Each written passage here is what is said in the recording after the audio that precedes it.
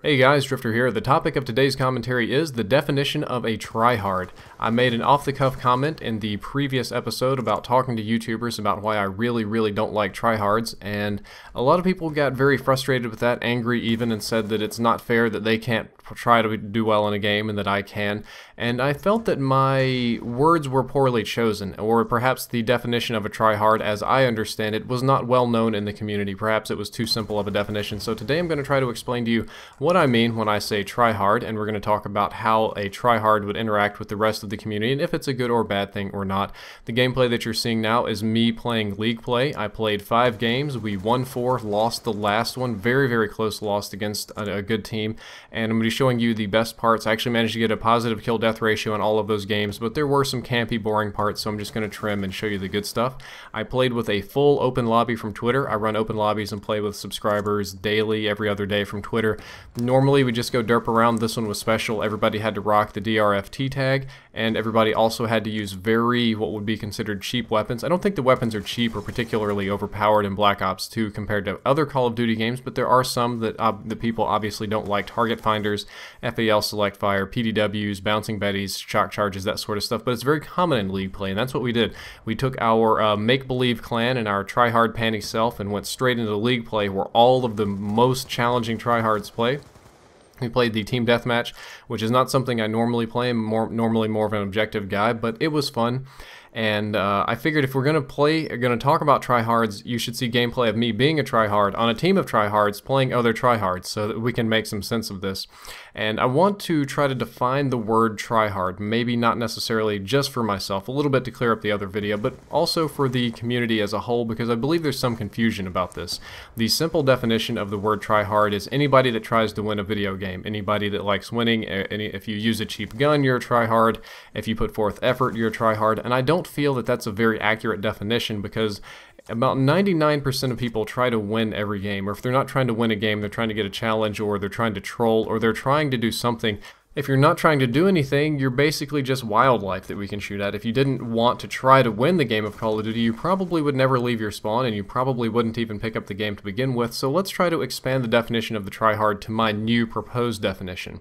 And there are four uh, facets or tenets of this, or uh, subcategories. Number one, the tryhard wants to win the game every single time, no matter what. There is no compromise to this. There is no, that was a good game. There is no, um, I would rather complete a challenge. There is no I would want to personally challenge myself. I would want to self handicap.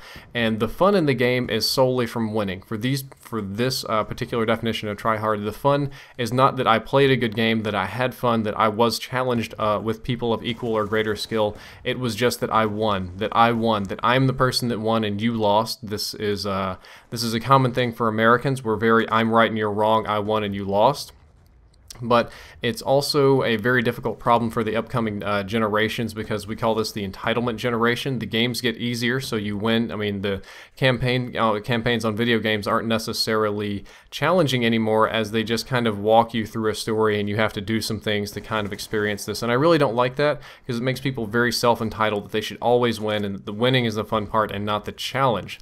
And that's the the bad thing. They don't appreciate the challenge of playing against somebody. It's only about winning. And the means are more important than anything else in the desire to win. If the lobby is unfair, if the team is unbalanced, either with disproportionate number of players or uh, disproportionate skill, that doesn't matter. That just means that they win and get the quick gratification. Using cheap, annoying weapons or tactics, also the same thing tying into the win. They want that win, they want that gratification no matter how many uh, tactical insertions or the PDW or RPGs or whatnot that has to be done. They want to win at any cost, even at the cost of being very annoying or looked down upon by the rest of the community. Those two tie very closely together, number one and two. They all have to do with how much the person wants to win rather than how fun the game is. And number three is that the actions in the game are very mechanical, no mercy, robot-like. I played with people a lot like this more in Halo than I did in Black Ops, but these Halo people would have absolutely perfect grenades, like little bouncing balls that would hit the ground and bounce up in your face and blow up. And they do the same thing here in Black Ops. You have people that never ever miss. You have people that always throw perfect grenades, that always, they're just so, um, focused and driven They never do anything that I would say would be a, considered a challenge or something that would be more fun. It's more like a, if you programmed a higher level Call of Duty playing robot, or I guess like the bots in uh, offline mode, that would be them. And it's not fun to play against this because they're actually a little bit predictable, to tell you the truth. And most importantly, this is what bothers me the most about tryhards because those other things, I view them negatively, people that appreciate the win instead of the challenge, but there are other people that would appreciate the win and not the challenge, and that's kind of moral relativism, and I can't really apply that to gaming because it's not too important of a deal. But the thing that's most important to me is that the vast majority of people that I would classify as tryhards in playing against or online, and this is what really makes a tryhard for me, is that they're very poor winners. If you win against this team, there's no good game that comes afterwards. They're no, that's fun, let's party up. It's you suck, I'm awesome. I'm MLG, you're not. I'm really cool, and you're not. They're also very poor losers. They're even worse losers than they are winners. If you're beating a team of tryhards, typically because they don't appreciate anything else other than winning, they're just going to quit the game and leave. And I've talked about this on and on and on for days in the Never Rage Quit series, and I've actually linked the Never Rage Quit video down there to kind of explain this a little bit more. But if somebody cannot appreciate the loss, if they cannot ap appreciate the challenge of struggling against an equal opponent and all they want is winning, then they're going to be very, very sore losers. And playing against sore losers online is never funny. I never rage quit, believe it or not. Uh, I don't rage quit out of games, and I think it's very poor class that other people do rage quit out of games. And I believe that these three things are what makes a tryhard. Probably one, two, and four tie together more than number three, but number three is just the easy way to identify them. Again, it's they want to win no matter what. It's it's not the challenge or the fun that matters. They want to win more than they care to be fair. They'll stack the teams, uh, use cheap lobbies, annoying uh, cheap lobbies, unfair uh, lobbies, annoying weapons or tactics to win. Their actions in game are mechanical, robotic, more like they're grinding through the game instead of playing it. And most importantly, they're poor winners and worse losers. It's just not fun to play against this type of person.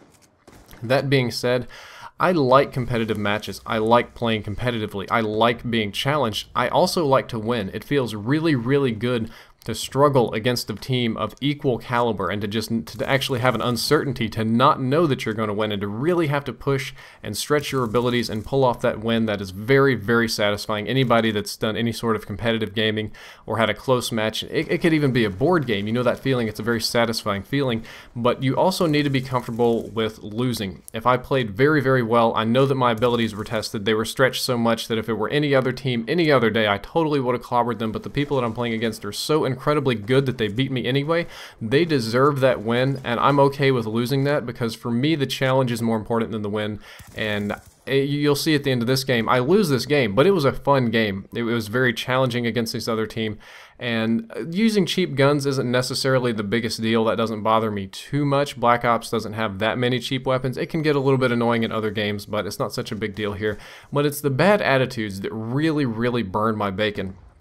I really don't like winning a game or losing a game and having my gender, race, or sexuality questioned in any way, in any way or told that I'm worthless. Or unfortunately, because I'm on YouTube now, somebody will beat me and be like, "Ooh, put that on YouTube," or "Ooh, I should do what you do," or "Ooh, I suck. Get me a capture card. I'm gonna put you out of business." And uh, little things like that really just. Uh, frustrate me, especially because with in-depth, sometimes I'm running around with a 5-7 and you run into people like this. Very frustrating. Uh, the people that beat us here were very, very good sports. This was an ideal kind of team to play with. They did try very hard. They were mechanical. They wanted to win. They didn't care about anything else. They used cheap weapons, cheap tactics. They also did teamwork, callouts, everything and this game came down to the wire. We started mounting a slight comeback at the end, but they pushed through the middle, rolled over some people, they got flashbanged and stunned, they all died. But overall, I think it was an excellent game. I had fun playing with these people. I had fun uh, working out tactics, changing my gameplay and my guns and everything with my teammates to accommodate and they were good sports. When they were done, the first thing they did is like, hey, blah, blah, you're the drifter from YouTube, right? Or actually, I think they already looked it up. And instead of uh, calling me any manner of insults, they're like, hey man, you want to put that on YouTube? That was a really good game. And I think that was really cool. And I told them, yeah, that actually was a good game, and I am going to put it on YouTube, and you will see yourself in a day or two on there. And I think that's what separates people that try hard to win uh, to win and have fun, and people that try hard to win for like the instant gratification of winning is the attitude. It's all about the attitude. Have a good attitude. Try hard to win. You know, challenge yourself, stress yourself, enjoy it. But if that doesn't happen, you don't have to be a sourpuss about it. You can just chillax and play again. Well, guys, that's all for this commentary. I hope that you enjoyed it, and I hope that you learned something useful about what I mean when I say try hard. If you enjoyed it, don't forget to like, favorite, and subscribe. Drifter out.